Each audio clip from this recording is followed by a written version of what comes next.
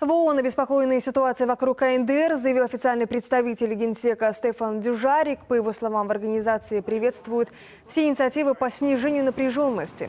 Ранее в Минобороны США отметили о том, что план превентивного удара по северокорейским пусковым установкам готов и будет исполнен по приказу Дональда Трампа. Это заявление последовало после того, как КНДР сообщила о готовности к середине августа нанести ракетный удар по американской авиабазе на острове Гуам в Тихом океане. Пхеньяне назвали потенциальный ядерный удар упреждающим и заявили, что на американского президента можно воздействовать только абсолютной силой.